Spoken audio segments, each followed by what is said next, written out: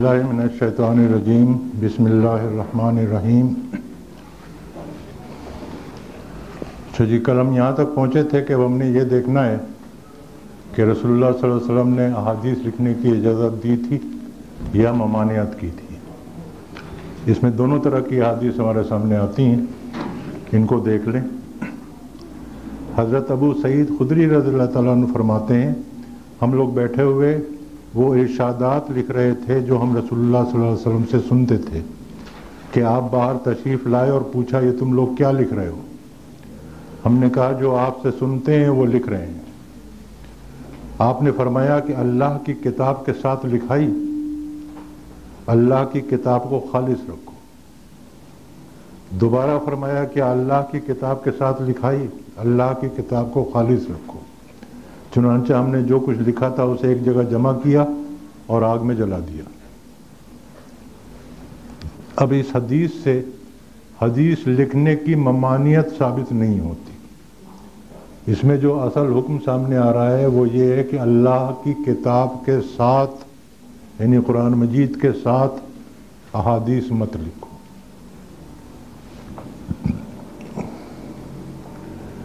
और जैसे रसोल्ला ने पूछा था तो अबू सईद रज़ी ने फरमाया कि हम जो कुछ आपसे सुनते हैं, वो लिख रहे हैं। तो ज़ाहिर है कि रसोल्ला वसल्लम से कुरान मजीद भी सुनते थे और अहादीस भी सुनते थे, वो इकट्ठा लिख रहे थे, इसलिए मना किया था। लेकिन दूसरी हदीस, ये भी हज़रत अबू सईद रज़ी तु की है। फरमाया कि तुम लोग मेरी रसुल्ला वसल्लम ने फरमाया, तुम लोग मेरी हदीस मत लिखो। और जिसने मुझसे कुरान के अलावा कुछ और लिखा है, उसे चाहिए कि वो उसे मिटा दे। मेरी हदीस बयान किया करो, इसमें कोई हरज नहीं है। ये हदीस बड़ी क्लियर है कि इसमें हदीस लिखने की ममानियत जो है, वो बहुत वाजे है।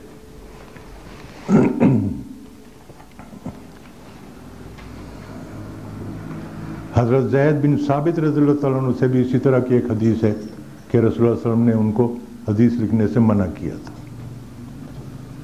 अबू राफ़ रज़ी तु ये रसोल्ला वसल्लम के आज़ाद करदा ग़ुलाम थे। उन्होंने हज़रत वसल्लम से अहादीस लिखने की इजाज़त मांगी तो आपने उनको इजाज़त अता फरमाई। हज़रत अब्दुल्ला बिन अमर बिन आस रज़ी तु हज़रत अमर बिन आस रज़ी गवर्नर थे, हुए थे बाद में मिस्र के, बड़े मशहूर साहबी हैं। हज़रत खालिद बिन वलीद रज़ी तु के साथ, सन सात हिजरी में ईमान लाए थे। लेकिन उनके साहबजादे हज़रत अब्दुल्ला जो हैं, वो बिल्कुल शुरू में ईमान ले आए थे और शुरू में मदीना में हजूर वसल्लम के साथ थे। उनका ये कहना है, हज़रत अब्दुल्ला बिन अमर बिन आस रज़ी फरमाते हैं कि मैं जो कुछ रसुल्ला वसल्लम से सुनता, उसे लिख लिया करता था और उसे ज़बानी याद करता था। कुरैश के चंद अफराद ने मुझे इससे मना किया और कहा कि क्या तुम जो कुछ रसुल्ला से सुनते हो, उसे लिख लेते हो? हालाँकि आप बशर हैं और कभी गुस्से में भी हो सकते हैं। हज़रत अब्दुल्ला ने उनकी ये राय हुजूर वसल्लम तक पहुँचा दी। आपने अपने मुबारक होठों की जानब इशारा किया और फरमाया कि मैं उस ज़ात की कसम खाता हूँ, जिसके हाथ में मोहम्मद की जान है, सल्लल्लाहु अलैहि वसल्लम। इनसे, यानी होंठ की तरफ़ इशारा था ना, इनसे हक के सिवा कुछ नहीं निकलता, बस तुम लिखो। ये फेले अमर आ गया। फक तुब बस तुम लिखो। ये बड़ी क्लियर है, हदीस लिखने की इजाज़त के सिलसिले में।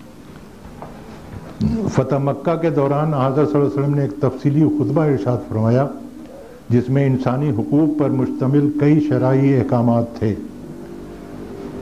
मजमे में एक शख्स अबू शाह ने आपसे दरख्वास्त की कि यह खुतबा उसे तहरीरी शक्ल में मुहैया कर दिया जाए।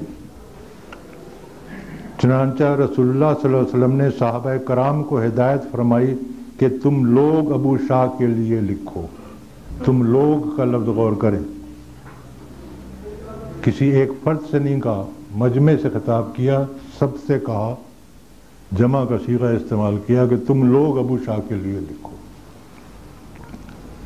हज़रत अनस रज़ी तु के शागिर्द सईद बिन हिलाल रहमत का बयान है कि हम जब हज़रत अनस रज़ी तु से ज़्यादा इसरार करते थे तो हमने, हमें अपने पास से कई ब्याजें निकाल कर दिखाते थे, यानी कई जिल्दें निकाल के दिखाते थे और फरमाते थे कि ये वो अहादीस हैं जो मैंने नबी सल्लल्लाहु अलैहि वसल्लम से सुनते ही लिख ली थी और पढ़कर सुना भी दी थी। यानी ऐसा नहीं था कि हज़रत अनस हादिस लिखी हो और हुजूर वसल्लम के इल्म में ना हो।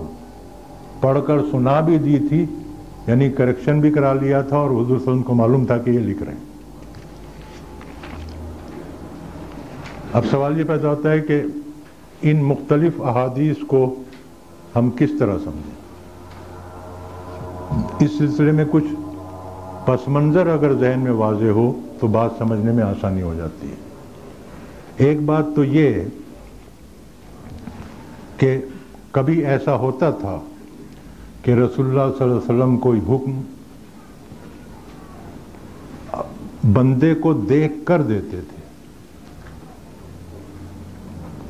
इसकी एक मिसाल मैं आपको दे दूँ तो बात आपके समझ में आ जाएगी कि रसुल्ला सल्लल्लाहु अलैहि वसल्लम साहब, चंद साहब कराम के साथ तशरीफ़ फरमा थे। तो एक नौजवान साहबी आए और उन्होंने आपसे सवाल किया कि क्या रोज़े की हालत में बीवी का बोसा लिया जा सकता है? आपने फरमाया नहीं। चले गए। थोड़ी देर के बाद एक ज़यीफ साहबी आए और उन्होंने एग्जैक्टली यही सवाल किया।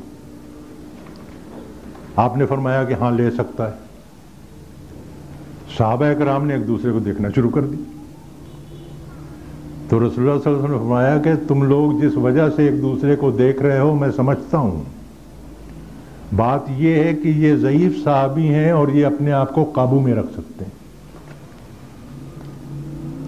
बात समझ में आ गई? कि नौजवान साहबी थे, उनको मना कर दिया, ज़यीफ साहबी थे, उनको इजाज़त दे दी। तो बंदा देखकर भी कभी रसुल्ला कोई फैसला करते थे, कोई बात कहते थे। इस पस मंज़र में देखें कि आप लोगों ने पढ़ा होगा कि जंग बदर के मौके पर तीन बच्चे थे जो जंग में शामिल होना चाहते थे। लेकिन कम सीनी की वजह से उनको इजाज़त नहीं मिली।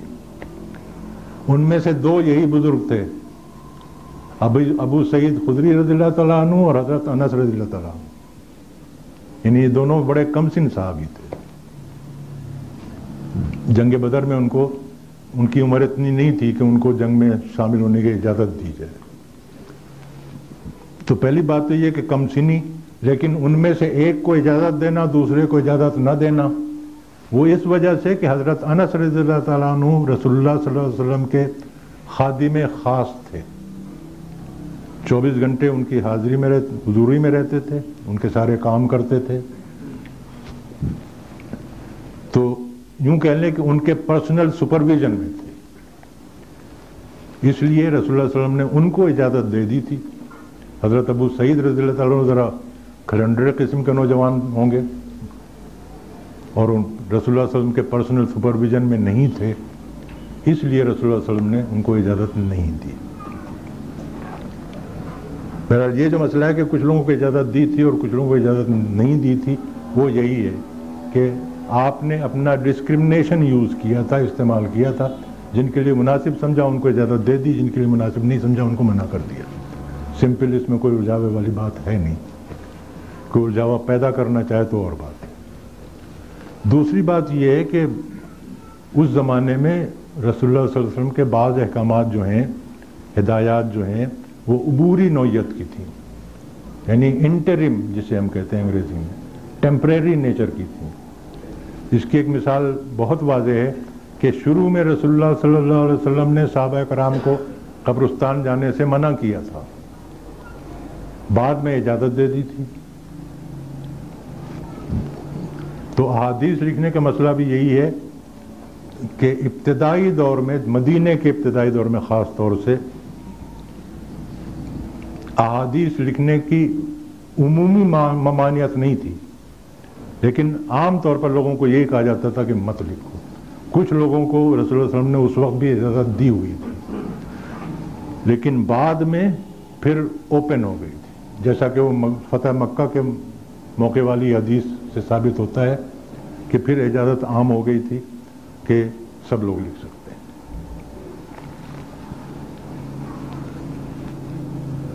और वजह उसकी ये है डिस्क्रिमिनेशन यूज़ करना टेम्परेरी इंजेक्शन लगाना इंजेक्शन लगाना। उसकी वजह यह थी कि रसूल वसल्लम ये चाहते थे कि तौरात और इंजील के साथ जो हादसा हुआ है, वो कुरान मजीद के साथ ना हो। ये है बेसिक। तौरात और इंजील के साथ जो तहरीफ हुई, एक तो तहरीफ वो थी कि जो लोग जानबूझकर करते थे, जिसका हवाला कुरान मजीद में अल्लाह ताला ने दिया है। लेकिन ऐसे केसेस बहुत कम थे। मेजर पोर्शन जो तहरीफ का है, या मेजर कॉज जो है तौरात और इंजील में तहरीफ का, वो ये है कि अल्लाह के कलाम के साथ उलमाए कराम जो अपनी, जिसे हम तफसीर कहते हैं, जो तफसीर लिखते थे, वो आयत के साथ लिख देते थे। बाद में फिर ये फैसला करना मुश्किल हो गया कि अल्लाह का कलाम कहाँ है और मुफसर की राय कहाँ है। इसलिए तौरात और इंजील में तहरीफ हुई और तहरीफों के कई कई वर्जन जो हैं, तौरात और इंजील के, वो इसीलिए कि एक वर्जन जो है, वो एक मुफसर की राय और अल्लाह के कलाम पर मबनी है और दूसरा वर्जन जो है, वो दूसरे मुफसर की राय के साथ है। इस ख़तरे को, का सद्देबाब करने के लिए हजूर वसल्लम बहुत कॉन्शस थे और वो ताकीद करते थे कि कुरान मजीद के साथ हदीस ना लिखी जाए। जब आपको इतमान हो गया कि अब साहब कराम ने इस बात को समझ लिया है, उनके जहन में ये बात रासिक हो गई है कि वो कुरान मजीद के साथ हदीस को नहीं लिखेंगे तो आपने फिर ओपन कर दी थी। सबको इजाज़त दी थी हदीस लिखने की।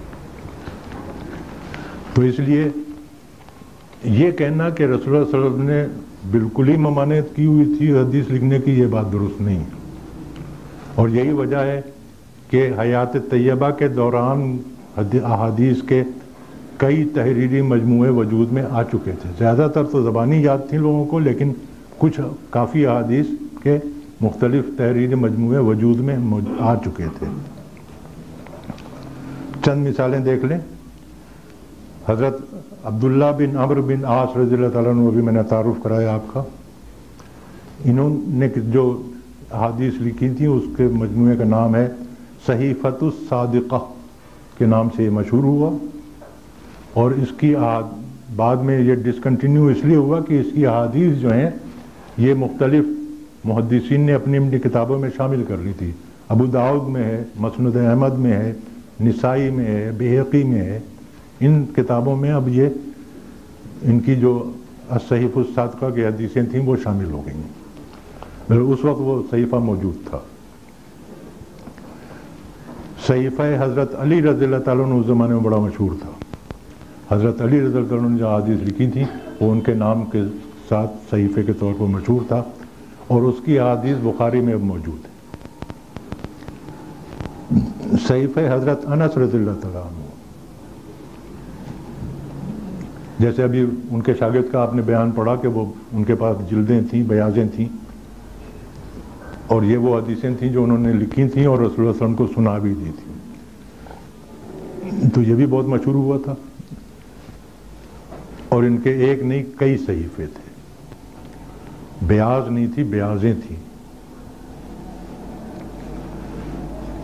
सैफ अमर बिन हजम रजील्ला ये अमर बिन हजम रजील्ला को रसोल्ला ने नजरान का गवर्नर बनाया था। और जब वो अपना चार्ज लेने के लिए जा रहे थे तो रसुल्ला वसल्लम ने कुछ अहकाम लिखवा कर उनको दिए थे। अहकाम वही जो हम उनको जो हदीस कहते हैं, जिसमें तहारत, नमाज़, ज़क़़त, उश्र, हज, उम्र जिहाद, माल गनीमत, जजिया, इस किस्म के मसाइल के मतलब अहकाम थे। ये लिखवा कर उनको साथ दिया था कि ये लेके जाओ, इस पर अमल करना हज़रत अमर बिन हज़म रज़ी का एहसान हम पर यह कि उन्होंने न सिर्फ़ उस किताब को अपने पास महफूज रखा, बल्कि इसी किस्म के तहरीरी अहकाम रसोल्ला ने दूसरे कबायली सरदारों को भेजे थे, उनको जमा किया। उनको हासिल किया और सबको मिला के एक सहीफे की शक्ल में मुरतब करके महफूज कर लिया। उसका नाम है सहीफ़ अमर बिन हजम रज़ी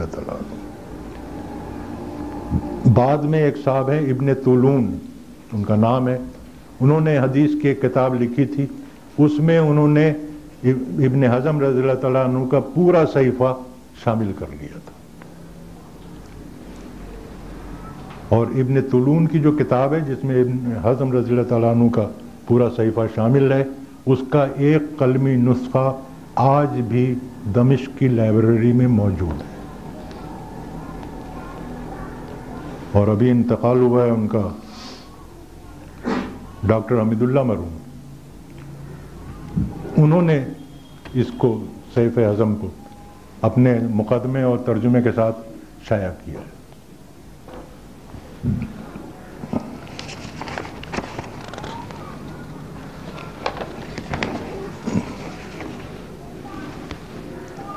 तो इससे भी मालूम होता है कि अहादीस के तहरीरी मजमू रसोल्ला की हयात तय्यबा के दौरान वजूद में आ चुके थे। अब हम दौरे साहबा देख लें। हिफ्स अहादीस का हिफ्स करना। उस ज़माने में अहादीस के हिफ्स करने का रवाज बिल्कुल ऐसे ही था जैसे आज तक हमारे यहाँ कुरान मजीद के हिफ्स करने का रवाज है। इन ज़माने में ये दोनों चीज़ें हिफ्स की जाती थी, कुरान भी और हदीस भी। तो वो सिलसिला साहब कराम के ज़माने में भी जारी था और बहुत से लोग अपने बच्चे को साहब कराम के सुपुर्द कर देते थे अहादीस हिफ्स करने के लिए। जैसे हम लोग अपने बच्चों को एकेडमी में भेज देते हैं कुरान मजीद हिफ्स करने के लिए, उस तरह कुरान मजीद के हिफ्स का सिलसिला भी जारी था, लेकिन अहादीस के हिफ्स की भी उतनी बराबर की अहमियत थी और अपने, जिस तरह अपने बच्चों को वो कुरान मजीद हिफ्स कराते थे साहब कराम को देकर उसी तरह अहादीस भी हिफ्स कराते थे।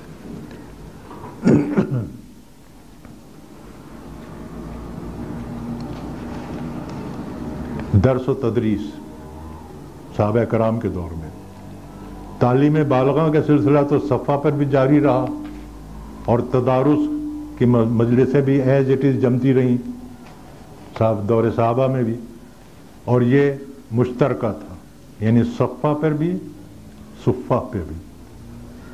और तदारुस की महफिलों में भी कुरान मजीद और हदीस दोनों का काम होता दोनों की दरस तदरीस होती थी। फिर मदीने में बच्चों के लिए मदरसे कायम किए गए। दौरे साहबा में। ये भी मुश्तर थे। इनमें कुरान मजीद की तालीम भी दी जाती थी और हदीस की भी दी जाती थी। और बहुत सारे सभा कराम ने अपने अपने हल्का दर्स कायम कर लिए थे। आज वाले हल्का दर्स नहीं कि जब जी चाह आए और जब जी चाह उठ के चले गए। किसी में हाजिरी हो गई, किसी में गैर हाजिरी हो गई, कोई मसला नहीं है। ऐसा दर्स हल्का दर्स नहीं था साहब कराम का। उनका हल्का दर्स वो था जिसको हम आजकल मदरसा कहते हैं।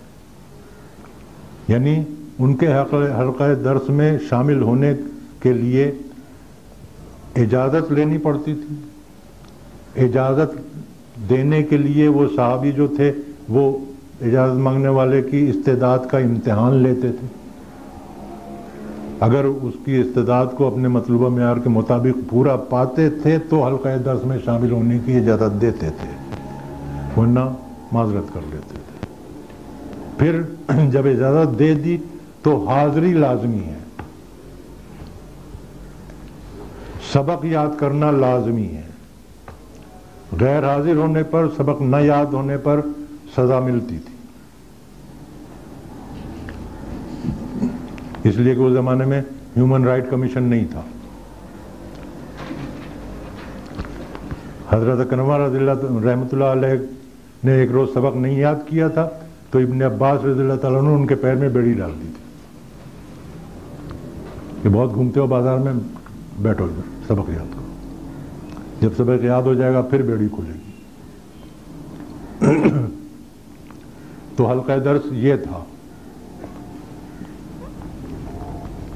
और हल्का दर्स जो थे, कुछ हल्का दर्स तो मुश्तरका थे, जिसमें कुरान और हदीस दोनों की तालीम होती थी। लेकिन कुछ हल्का दर्स जो थे, वो खसूसी हदीस के लिए ही मखसूस थे। वहाँ पे सिर्फ़ हदीस की तालीम दी जाती थी।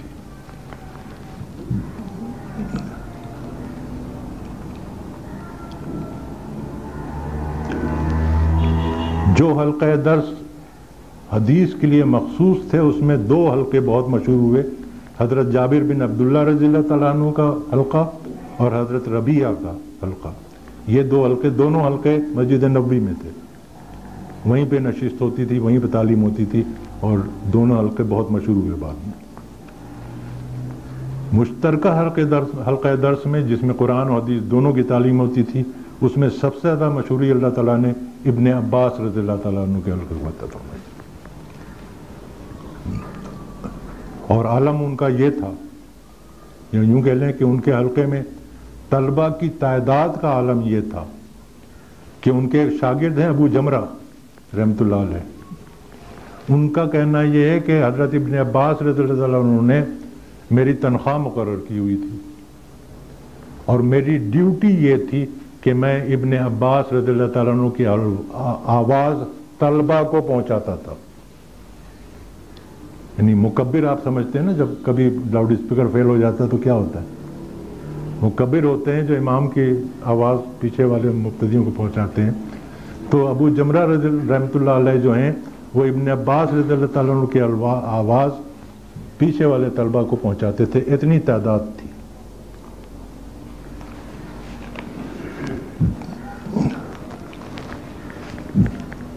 दूसरी तब्दीली साहब, दौरे साहबा में ये आई कि रसुल्ला वसल्लम के ज़माने में और साहब, दौरे साहबा के इब्तदाई दौर में जो मुख्तलिफ़ मकाम के गवर्नर होते थे, वही उस जगह के मुदर्रिस भी होते थे।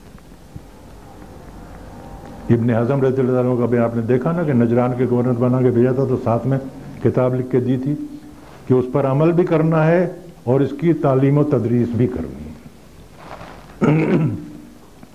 लेकिन बाद में जब इलाके बड़े हो गए और गवर्नर की जिम्मेदारियाँ बहुत ज़्यादा हो गई, उनके लिए ये मुमकिन नहीं रहा कि वो एडमिनिस्ट्रेटिव जॉब के साथ साथ ये टीचिंग जॉब भी जारी रख सकें, तब फिर सेपरेशन हुआ है।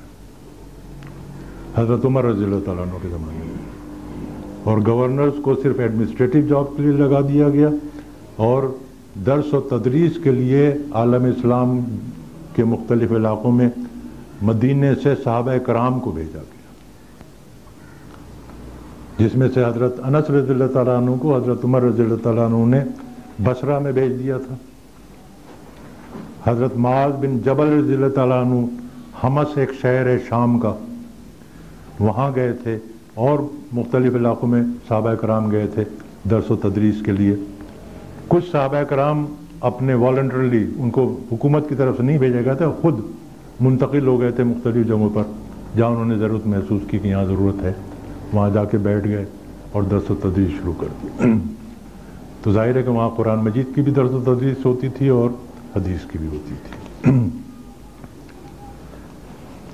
अमल के सिलसिले में उस ज़माने में सबसे अहम रवाज ये था कि जब भी कोई काम करते थे तो दूसरों को दिखाकर और बताकर करते थे कि देखो, जिस तरह मैं कर रहा हूँ, इसको देख लो, समझ लो। मैंने इसी तरह रसूल वसल्लम को ये काम करते हुए देखा था। ये एक आम रवाज था उस ज़माने में। और ख़ास तौर से शागिर्दों को तो बड़ी ताकीद होती थी कि देखो और समझो।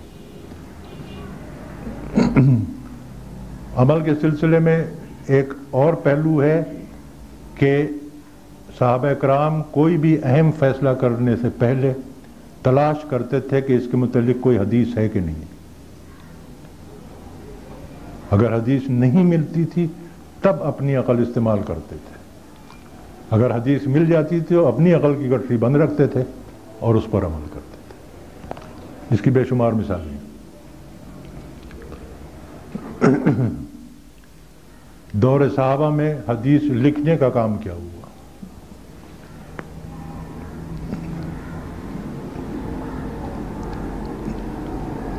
रफ़ी उस्मानी साहब हैं, उन्होंने किताब लिखी है, किताबत हदीस। उस किताब में सफ़ा नंबर 119 से सफ़ा नंबर 175 तक, ये तकरीबन छप्पन सफ़ात बनते हैं। उन्होंने 24 साहब कराम की खिदमत का ज़िक्र किया है, जिन्होंने हदीस लिखने का काम किया है, यानी किताबत, किताबी शक्ल में लिखने का काम किया है, दौरे साहबा में। इसमें से ज़्यादा मशहूर जो हैं वो ये हैं कि हज़रत अबू बकर रज़ी तु ने हज़रत अनस रज़ी तु को बहरीन भेजा था ज़क़़त की वसूली के लिए। उस वक्त हज़रत अबू बकर ने ख़ुद अपने हाथ से एक किताब सदका लिख के दी थी, जिसमें ज़क़़त और उशर और इस कस्म के अहकाम थे। वो महफूज हो गई। हज़रत उमर रज़ी गवर्नरों और सिपा सालानों को जो हिदायत भेजा करते थे, उसमें वो हदीस ज़रूर लिखते थे। वो हदीसें अब मुस्लिम और तिरमिजी में मौजूद हैं। और हज़रत उमर रज़ी ने भी एक किताब सदका लिखी थी। वो पूरी किताब इमाम मालिक ने अपने मोता में नकल कर दी। मौजूद है वो। हज़रत अबू हुरैरा नोट कर लें कि रसोल्ला वसल्लम के वसाल के बाद आप 69 ईयर्स ज़िंदा रहे हैं। एक कम सत्तर साल ज़िंदा रहे हैं और एक कम सत्तर साल आपने हदीस की खिदमत की। हज़रत अबू हुरैरा के मतलब ये बात तो बड़ी पक्की है कि उन्होंने हयात तय्यबा के दौरान अहादीस लिखी नहीं थी, हिफ्ज की थी। उनको खुद लिखना आता है, था या नहीं आता था, ये कंट्रोवर्शियल मसला है, इसके मतलब कोई यकीन से बात नहीं की जा सकती।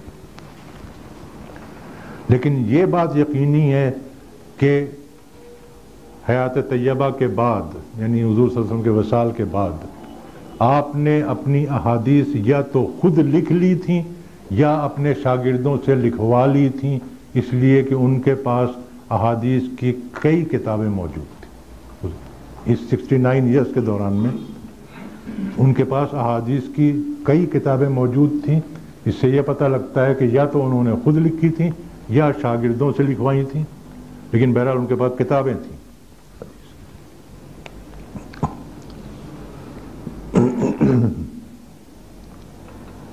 उनके एक शागिर्द हैं। हमाम बिन मुनब, बिन मुनब्बा। उन, उन्होंने जो किताबें लिखी थी हज़रत अबू हुरैरा से आदिश सुनकर, उन किताबों के दो कलमी नुस्खे आज तक मौजूद हैं। एक दमिश की लाइब्रेरी में है और एक बर्लिन की लाइब्रेरी में हुजूर सल्लल्लाहु अलैहि वसल्लम के वसाल के बाद इब्ने अब्बास रज़ी तु अठहत्तर साल ज़िंदा रहे हैं, सेवेंटी एट ईयर्स और अठहत्तर साल उन्होंने ये काम किया है।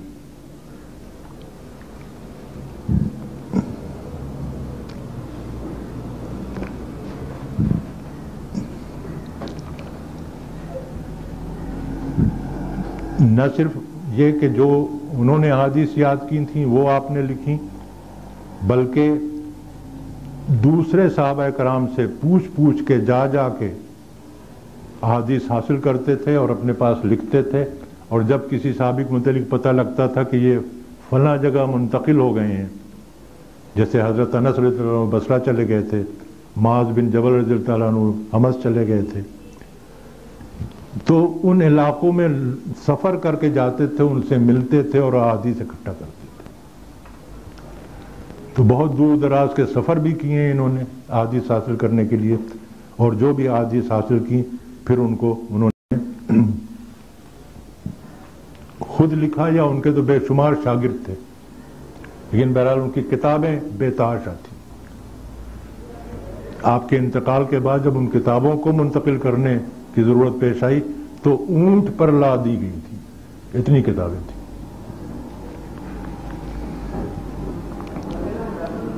और चूँकि उनके शागिर्द जो थे, वो आलम इस्लाम के मुख्तलिफ़ इलाकों से खींच खींच के आते थे, उनके पास दर्द तदरीस तालीम हासिल करने के लिए।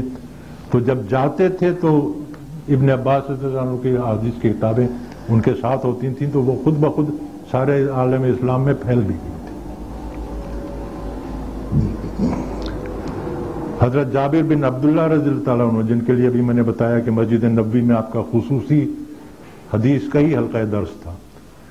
इन्होंने 68 इयर्स ज़िंदा रहे हैं। मिसाल के बाद। और ये हल्का दर्ज चला है। आपकी जो हदीस की किताब थी, वो सहीफ जाबिर के नाम से मशहूर हुई। और इसके अलावा उनका एक रसाल हज भी है। यानी हज और उम्र के मतलब जो हादिस हैं, वो सहीफ जाबिर में नहीं मिलती। उसकी वजह यह कि उसके लिए उन्होंने एक अलग रसाला लिखा था। इसके अलावा आपके जो शागिर्द थे, उनकी भी चार पाँच किताबें दौरे साहबा वजूद में आ गई थी। समरा बिन जंदब रजील तला इनकी जो किताब थी हदीस की, उसका नाम है नुस्खा कबीर। और नुस्खा कबीर इसलिए कि वो किताब बड़ी जखीम किताब थी। ये उनके खानदान में रहा है। और बाद में फिर तिरमिजी, अबू दाऊद, नसाई, इब्न माजा वगैरह में इस किताब की हाजिर जो है वो जम हो गई। बीबी आयशा रज़ी तला रसूल के विसाल के बाद अड़सठ साल तक ज़िंदा रही। सिक्सटी एट ईयर्स आपकी खसूसियत ये कि ख़त किताबत के ज़रिए अहादीस की तबलीग करती थी। मुख्तलिफ़ जगहों से लोग आपको ख़त लिखा करते थे, मसाइल पूछने के लिए मालूम हासिल करने के लिए तो जब भी जवाब देती थी तो साथ में अहादीस ज़रूर कोट करती थी। इनके तीन खसूसी शागिर्द थे। एक उर्वा बिन जुबैर रजल तलानु रजल तला ना ये बीबी आयशा रजल तलाना के भांजे थे। कासिम बिन मोहम्मद, ये बीबी आयशा रजल तला के भतीजे थे और बचपन में यतीम हो गए थे, इसलिए बीबी आयशा ने ही इनकी परवरिश की थी। और एक खातून थी उमरा बिन से अब्दुलरहमान ये बीबी आयशा की लेपालक थी। उन्होंने इनकी उन्होंने ही इनकी परवरिश की थी। ये तीन शागिर्द थे।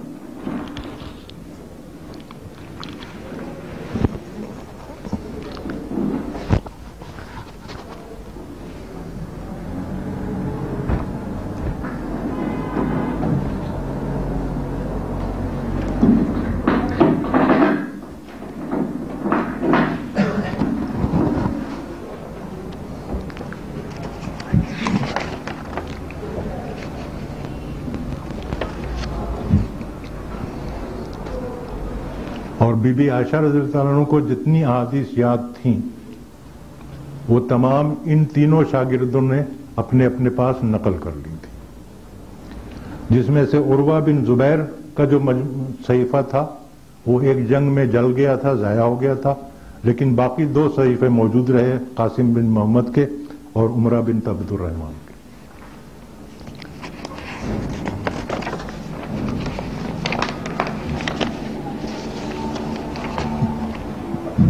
तो इस तरह देख लें कि दौरे साहबा में भी ये काम आगे बढ़ा है और इसमें मजीद किताबें लिखी गई हैं।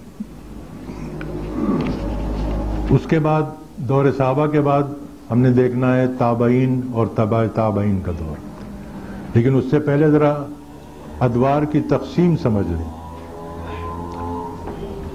देखें, हयात तयबा और दौर क्या कहते हैं? दौरे साहबा। इसमें हम एक क्लियर कट लाइन खींच सकते हैं।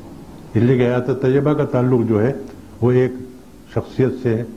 जब रसुल्ला वसल्लम का इंतकाल हो गया तो हयात तजर्बा का दौर ख़त्म हो गया और दौरे साहबा शुरू हो गया। लेकिन दौरे साहबा और ताबाइन और तबाह ताबाइन के दौर में इस तरह हम लकीर नहीं खींच सकते। इनमें ओवरलैपिंग है। यूँ समझ लें कि पहले दौरे साहबा समझ लें कि ये शुरू हुआ सन दस हिजरी से, जब रसुल्ला वसल्लम का इंतकाल हुआ है, या शायद ग्यारह में हुआ है। बहरहाल, सन दस से मानते हैं कि ये दौरे साहबा शुरू हुआ है। आखिरी साहबी जिनका इंतकाल हुआ है, जो मुस्तनद बात है, दो चार नाम उसके बाद के भी लिए जाते हैं, लेकिन उनको छोड़ दें। तो सन 110 हिजरी में आखिरी साहबी का इंतकाल हुआ है। लेकिन सन 100 हिजरी और उससे पहले इंतकाल करने वाले साहब कराम की तादाद खासी है। उसके बाद बहुत कम हो गए थे। तो इसलिए हम यूँ कह सकते हैं कि पहली सदी हिजरी, सन 100 हिजरी तक दौरे साहबा है। लेकिन हम ये नहीं कह सकते कि 100 हिजरी के बाद ताबाइन का दौर शुरू हुआ है। इसलिए कि अगर कोई साहब सन 15 हिजरी में पैदा हुए तो उन्होंने रसूलुल्लाह वसल्लम की जियारत तो नहीं की, वो ताबाई थे। उन्होंने 80 साल की उम्र पाई। सन पंचानवे हिजरी में उनका इंतकाल हो गया। तो दौर साहबाई में पैदा हुए। दौर साहबाई में उनका इंतकाल हुआ। थे ताबाई तो इसलिए दौर साहबा और ताबाइन और तबा ताबाइन के दौर में हम इस तरह क्लियर कट लाइन नहीं खींच सकते। इनमें ओवरलैपिंग है। लेकिन मुहदसिन कराम के दौर के लिए इतनी वाजे नहीं, मगर एक लाइन हम खींच सकते हैं। मुमकिन है। उसकी वजह यह है कि सहाय सत्ता में सबसे सीनियर जो मुहदस हैं, इमाम बुखारी रहमत उनकी पैदाइश सन एक सौ चौरानवे हिजरी में हुई है। और सहाय सत्ता के मुसनफिन में सबसे जूनियर मुहदस जो हैं, वो इमाम निसाई रहमत हैं। उनका इंतकाल सन 303 हिजरी में हुआ है। तो इस तरह हम कह सकते हैं कि तीसरी सदी हिजरी जो है, सन 201 से लेके सन 300 तक, तीसरी सदी हिजरी जो है, ये मुहदसिन के दौर की है। पहली सदी हिजरी दौर साहबा है, तीसरी सदी हिजरी मुहदसिन का दौर है तो दरमियान में बाकी क्या बचा? दूसरी सदी हिजरी। अगर हम दूसरी सदी हिजरी का काम देख लें कि इस दौरान में आदिश पे क्या काम हुआ है तो ताबईन और तबाह ताबईन तमाम कवर हो जाएँगे। लेकिन उसमें एक ज्यादती हो जाएगी कि वो ताबईन जिन्होंने पहली सदी हिजरी में काम किया था, उनका काम रह जाएगा। तो इसलिए पहले हम ये देख लेते हैं कि पहली सदी हिजरी वैसे तो दौर साहबा है, लेकिन उस सदी में साहबा के अलावा ताबाइन ने क्या काम किया? एक किताब है, असल में तो वो अंग्रेज़ी में है, जस्टिस तकी उस्मानी की तहरीर है, अथॉरिटी और सुन्ना। उसका उर्दू तर्जुमा हुआ है हुजियत हदीस के नाम से। उस किताब में 19 किताबों का ज़िक्र है, जो पहली सदी हिजरी में लिखी गई और साहब कराम की तहरीरें नहीं है, बल्कि ताबईन की तहरीरें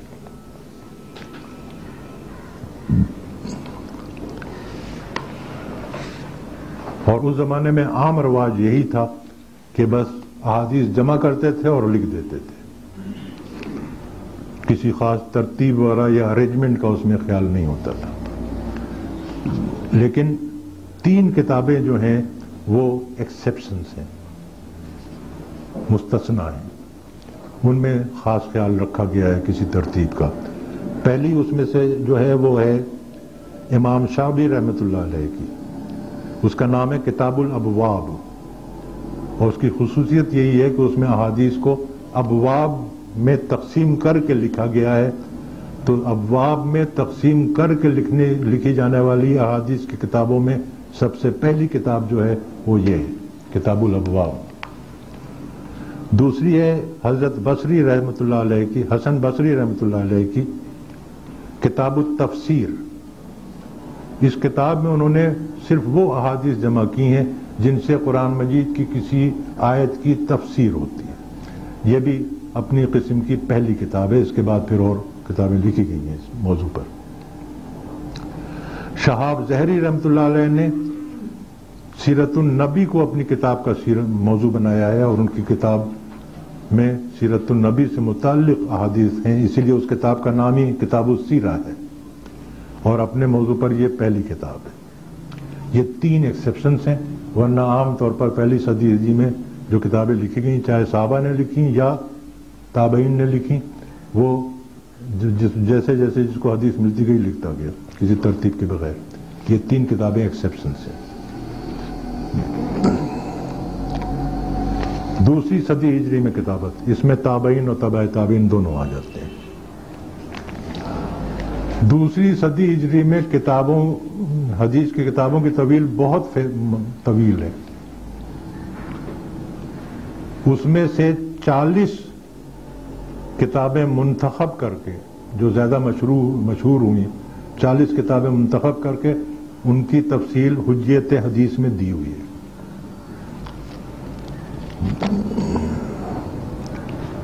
और उस दौर की ज़्यादातर किताबें, गालिब अक्सरियत, चंद इस्तना होंगे। यही है कि ये आम रवाज हो गया था कि किसी खास मौजू पर हदीस की किताब लिखी गई है, या कंपोजिट लिखा है तो अबवाब में तकसीम करके लिखी गई है। दूसरी बात यह है कि उस दौर में, यानी दूसरी सदी हिजरी में, कुछ मुसनफिन ऐसे हैं जिनकी एक से ज़्यादा किताबें और कुछ मुसनफिन ऐसे हैं जिनकी एक किताब कई कई जिल्दों पर मुश्तमिल है। सबसे ज़्यादा जिल्दों वाली एक किताब है, उसकी ग्यारह जिल्दें थी और जखीम जिल्दें थी। ग्यारह जकीम जिन दूसरी सदी हिजरी, यानी मोहदीसिन से पहले, जिन 40 किताबों का ज़िक्र हुजियत हदीस में मौजूद है, उसमें से 16 किताबें आज तक शाया हो रही हैं।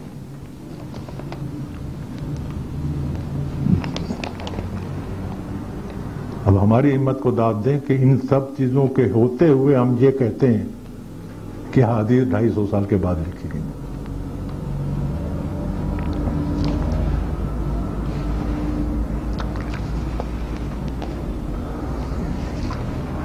अब अगर सूरत हाल ये है कि अहादीस लिखने का काम हयात तैयबा के दौरान शुरू हो गया था और उसके बाद तरक्की पजीर रहा है और इतनी किताबें लिखी गई कि उनकी फहरिस्त कर, मुरतब करने के लिए इंतखब करना पड़ा जस्टिस तकी उस्मानी को। सब नहीं उन्होंने नकल की चालीस नकल की जिसमें से सोलह आज तक मौजूद हैं। तो फिर ये मुहदसिन का इतना शोरा किस बात का है? उन्होंने क्या काम किया है? क्या खिदमत अंजाम दी है? जिसके लिए हम उनके इंसानमंद हैं। इस बात को समझ लें। अब्दुल्ला बिन सबा का नाम सुना हुआ है आप लोगों ने? सबाई फितना जिसे हम कहते हैं। अब्दुल्ला बिन सबा का इस्लाम में बिल्कुल वही किरदार है जो सेंट पॉल का क्रिश्चियनिटी में। सेंट पॉल भी यहूदी था ईसाइयत को हाईजैक करने की नीयत से उसने ईसाइयत कबूल की थी और वो अपनी कोशिश में कामयाब हो गया। उसने शरीयत मनसूख करा दी। अब्दुल बिन, अब्दुल्ला बिन सबा भी यहूदी था और बिल्कुल इसी नीयत से, इस्लाम को हाईजैक करने की नीयत से उसने इस्लाम कबूल किया था। और उसने जब हालात का जायजा लिया तो लगता है था कोई जहीन आदमी। उसने फैसला यह किया कि इस्लाम के दो सुतून हैं कुरान और हदीस। अगर इसमें से एक सुतून गिर जाए तो इमारत गिर जाएगी। कुरान के सुतून को गिराना आसान उसे नज़र नहीं आया। उसने इंतखाब किया हदीस के सुतून का। कि इसको गिराया जा, जा सकता है इसको गिरा लो तो इस्लाम की इमारत खुद ही ढह जाएगी। और उसके लिए उसने अपना जो मैदान अमल चुना है, वो ये था कि बड़े बड़े शहरों को छोड़ दिया था उसने। उसने टारगेट बनाया था फौजी छावनियों को। इसलिए कि वक्त गुजरने के साथ, पहले तो मुसलमानों की जो फौज होती थी, वो सारी की सारी साहब कराम पर मुश्तमिल होती थी। चंद लोग होते थे जो नौ मुस्लिम होते थे।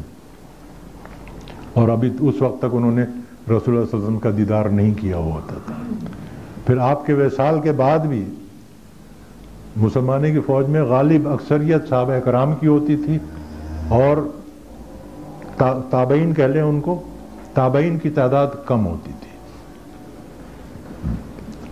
और फौज में भी यही सिलसिला था कि लड़ते भी थे दिन भर और फिर रात को बैठ के जो नौ मुस्लिम होते थे, जो ताबईन होते थे, या उनकी दरस तदरीस करते थे, या आपस में बैठ के तदारुस करते थे।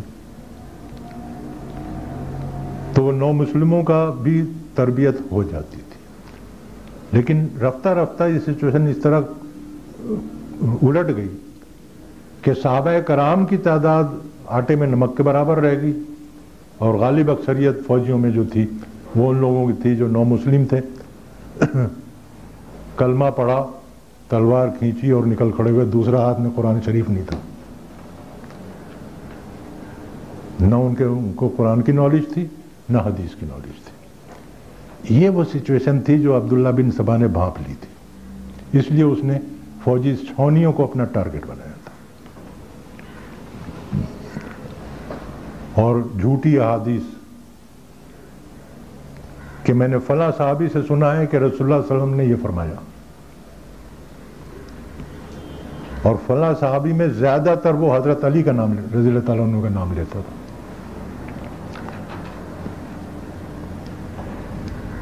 और ये फितना काफ़ी फैल गया था। झूठी अहादीस काफ़ी फैल गई थी। हज़रत अली रज़ी ने जब अपना दारुल खिलाफा मुंतकिल किया है क्या नाम है, मदीने से कूफा।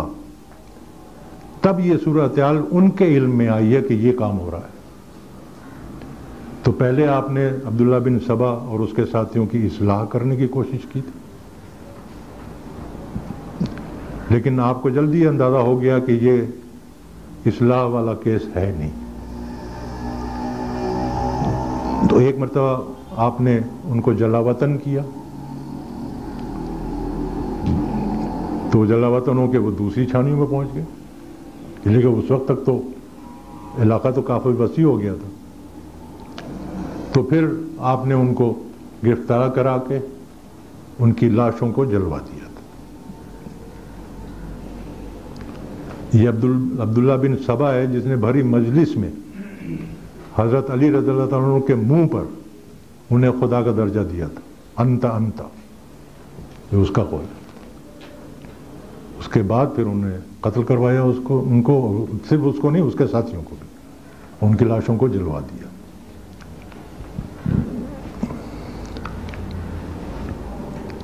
ये लाशों के जलाने के रवायत पर कुछ लोगों को बड़ा सख्त एतराज़ है।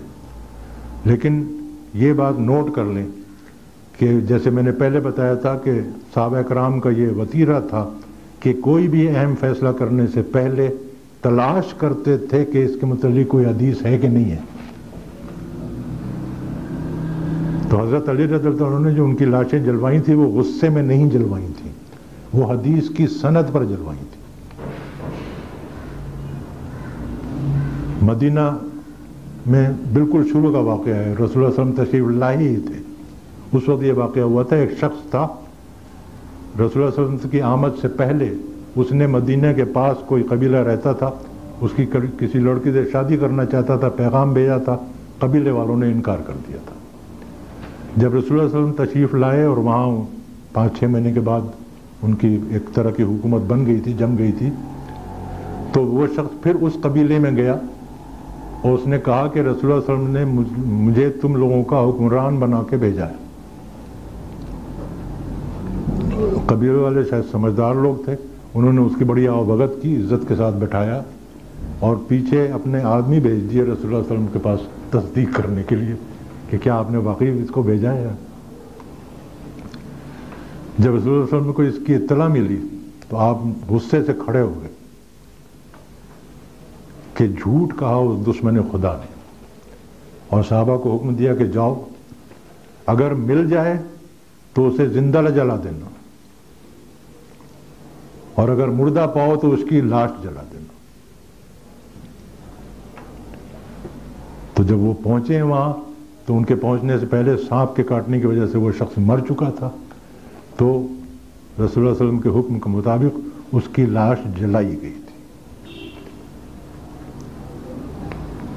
ये किस जुर्म पर?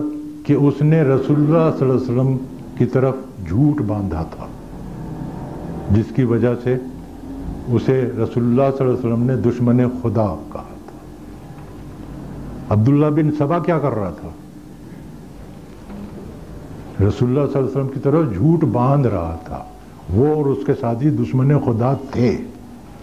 इसलिए हज़रत अली रजल उनकी लाशें जलवाई थी। एतराज़ करने वाले ऐसे ही एतराज़ कर जाते हैं, बगैर सोचे समझे। थोड़ा सा अगर आदमी गौर करे, थोड़ा सा मालूम हो तो ये बात बड़ी पक्की है कि साहबा कम अज़ कम साहबा कराम के मतलब तो बड़ी यकीन से कही जा सकती हैं। और फिर बाद के हमारे बुज़ुर्गों ने उनके नक्श कदम पर चले। हैं तो आम तौर पर जो काम करते थे, वो हदीस या कुरान की सनत की बुनियाद पर करते थे। बहरहाल, दूसरा फैसला ने यह किया, इससे पहले ये एहतियात जारी थी कि कुरान मजीद के दरस तदरीस ज़्यादा हो और अहादीस की इतने ज़्यादा ना हो, या कम अज़ कम अहादीस की दरस तदरीस, कुरान की दरस तदरीस को सुपरसीड ना कर दे पाए। ये कौशन, ये एहतियात जारी थी। इस एहतियात को अब हज़रत अली रज़ी ने तोड़ दिया। उनका फैसला यह था कि सच्ची अहादीस का सैलाब इस तरह आवाम की तरफ़ बहा दिया जाए। कि उन्हें सच्ची अहादीस और झूठी अहादीस में फ़र्क करने में कोई मुश्किल ना पेश आए। तो कोफा में जब तक हज़रत अली तशरीफ़ फरमा रहे हैं, आपका मामूल था कि आप खड़े होते थे मेंबर पे और फरमाते थे कि कौन है जो एक दिरम में इल्म खरीदे? इसका यह मतलब नहीं है कि वो इल्म देने के लिए वो एक दिरम फ़ीस देनी पड़ी थी। इसका मतलब यह है कि एक दिन हम खर्च करें, बाज़ार से जाके कागज़ खरीद लाए और मुझसे हदीसें लिख ले। तो सही हज़रत अली रजल तो उन्होंने लिख लिया था हयात तजर्बा के दौरान। तो दौरे साहबा में हज़रत अली रजल की लिखवाई हुई हदीस बेशुमार मौजूद थी। ये सब कुछ तो हो गया था, लेकिन मसला ये था कि सच्ची अहादीस और झूठी अहादीस में तमीज़ करना आम लोगों के बस की बात तो नहीं थी। और ये सच्ची और झूठी आदि इस तरह इंटरमिक्स हो गई थी कि आम लोगों के लिए ये फैसला करना बड़ा मुश्किल हो रहा था कि किसको हदीस माने और किसको हदीस न माने।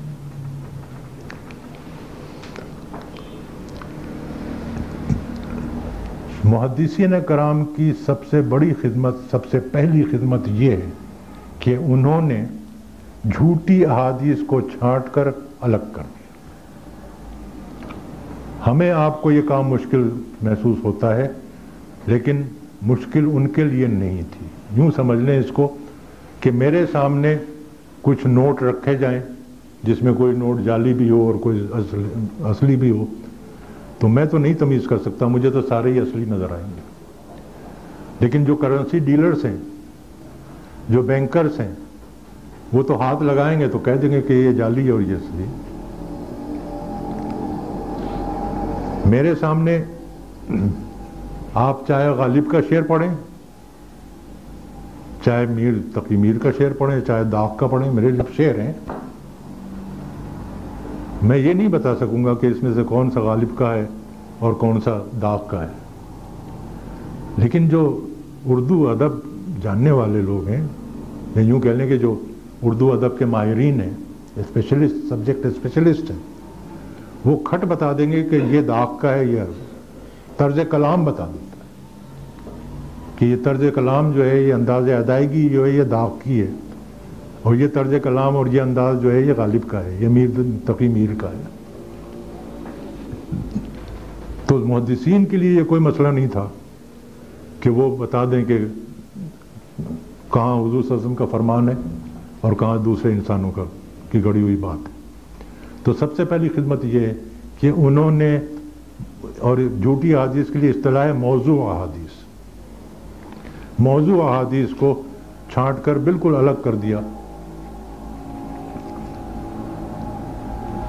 और दूसरी खिदमत जो है उनकी, कि अहादीस को छान फटक करने के, जिस तरह से उन्होंने छान फटक की है और मौजू अहादीस को अलग किया है, इसके उसूल मुकर कर दिए और इसको बाकायदा एक साइंस बना दिया, जिसके लिए इतला है उसूल हदीस। ये उनका वो एहसान है जो हम क़यामत तक नहीं भूल सकते। इसलिए कि ये जो उन्होंने काम किया है, उसूल हदीस, छान पटक करने के उसूल मुन कर दिए हैं, उसकी वजह से उसके बाद ये मुमकिन नहीं रहा कि हदीस के ज़ख़ीरे में कोई मौजू या झूठी हदीस शामिल की जाए। वो दरवाज़ा उन्होंने हमेशा के लिए बंद कर दिया। ये बहुत बड़ा कारनामा है, बहुत अजीम कारनामा है। तो असल जो उनका एहसान है वो ये है